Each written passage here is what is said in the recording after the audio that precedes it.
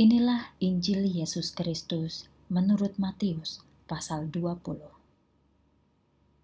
Ini sebuah perumpamaan lain mengenai kerajaan surga. Pada suatu pagi, seorang tuan tanah keluar mencari penuai untuk dipekerjakan di kebunnya. Ia bersedia membayar mereka sedinar sehari dan segera menyuruh mereka bekerja. Beberapa jam kemudian ia melewati pasar dan dilihatnya beberapa orang penganggur. Ia menyuruh mereka pergi ke kebunnya dan berkata bahwa mereka akan dibayar sebagaimana patutnya. Pada tengah hari dan demikian juga pada jam tiga petang, ia melakukan hal yang sama. Pada jam lima petang, ia pergi ke kota dan dilihatnya beberapa orang penganggur. Ia bertanya kepada mereka, mengapa kalian tidak bekerja hari ini? Sebab tidak ada yang mempekerjakan kami, jawab mereka. Jika demikian, pergilah ke kebunku dan bekerjalah dengan orang-orang yang sudah ada di sana. Kata Tuhan itu kepada mereka. Pada malam harinya ia menyuruh mandornya supaya memanggil para pekerja dan membayarkan upah mereka, mulai dengan orang yang datang bekerja paling akhir Ketika orang-orang yang mulai bekerja pada jam 5 petang dibayar, masing-masing menerima satu dinar. Ketika pekerja-pekerja yang datang lebih dulu mendapat giliran mengambil upah, mereka mengira bahwa mereka tentu akan menerima lebih banyak. Tetapi mereka pun dibayar satu dinar. Mereka memprotes. Orang-orang itu bekerja hanya satu jam, tetapi mereka mendapat bayaran yang sama seperti kami yang bekerja sehari penuh di bawah terik matahari. Kawan, sahut tuan itu kepada salah seorang pekerja itu.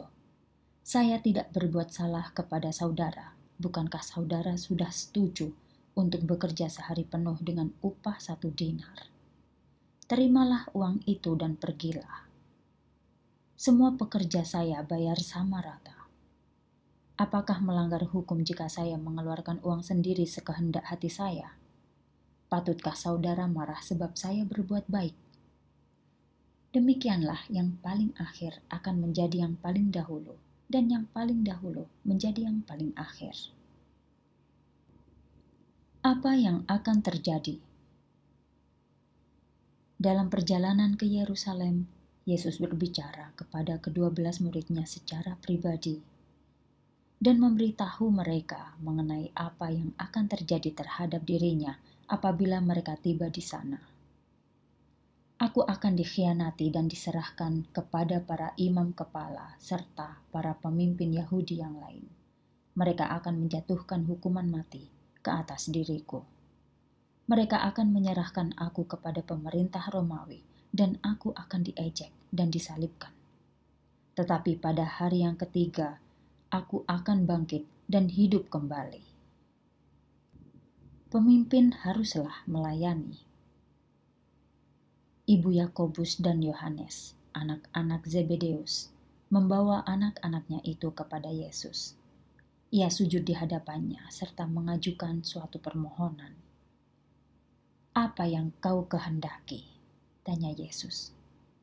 Ia menjawab, "Di dalam kerajaan Tuhan kelak, Bolehkah kedua anak saya ini duduk di atas kedua tahta di kiri kanan tahta Tuhan?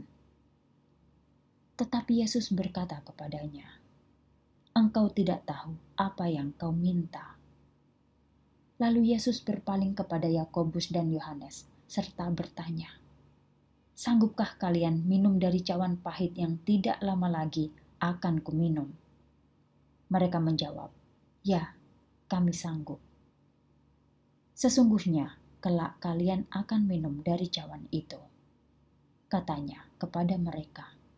Tetapi aku tidak berhak mengatakan siapa yang akan menduduki kedua tahta di sebelah tahtaku.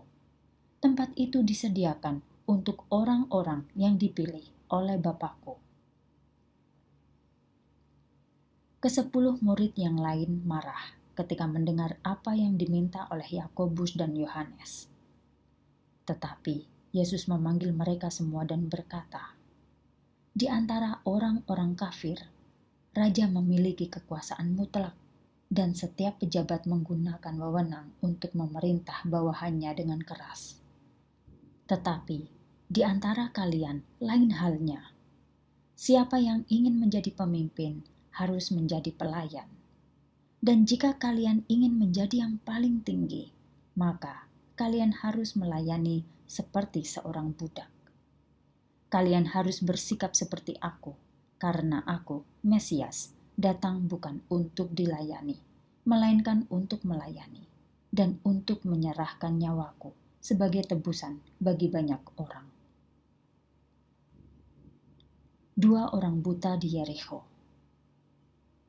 Ketika Yesus dan para murid meninggalkan kota Yeriko, banyak sekali orang mengikuti mereka. Dua orang buta sedang duduk di tepi jalan. Ketika mereka mendengar bahwa Yesus akan melalui jalan itu, mereka mulai berseru-seru, "Ya Tuhan, Anak Raja Daud, kasihanilah kami." Orang banyak itu menyuruh mereka diam, tetapi mereka malah berseru makin keras. Apabila Yesus tiba di tempat mereka berada, ia berhenti dan berkata, "Apakah yang kalian ingin kulakukan untuk kalian?" Tuhan, jawab mereka, kami ingin dapat melihat. Yesus merasa kasihan terhadap mereka. Ia menjamah mata mereka. Seketika itu juga mereka dapat melihat, lalu mengikut Dia.